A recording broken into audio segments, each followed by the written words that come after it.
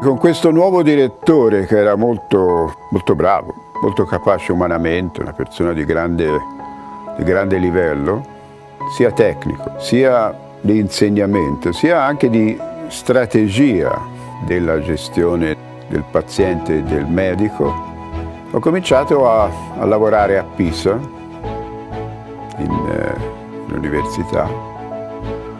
e poi Marchetti si è trasferito al Rizzoli.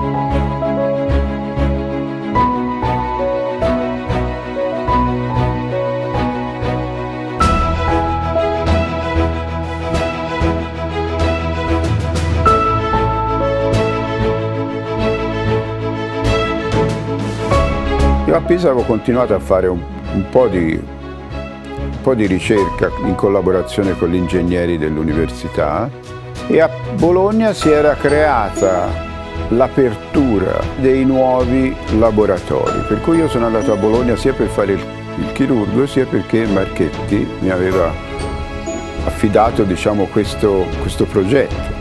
Il Rizzoli aveva acquisito un grande spazio, ogni direttore di clinica, che erano 3 aveva il suo laboratorio e il laboratorio del, del professor Marchetti venne affidato a me. Non c'era niente, non c'era proprio nulla, c'erano i muri, grande spazio, quindi necessità di trovargli una ideale collocazione di ricerca, un argomento di ricerca, dei collaboratori che facessero ricerca, delle strutture per fare ricerca e dei laboratori.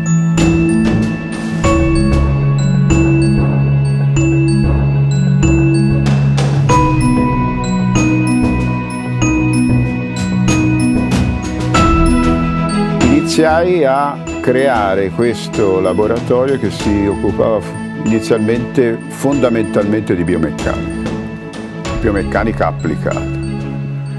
E con il gruppo di Pisa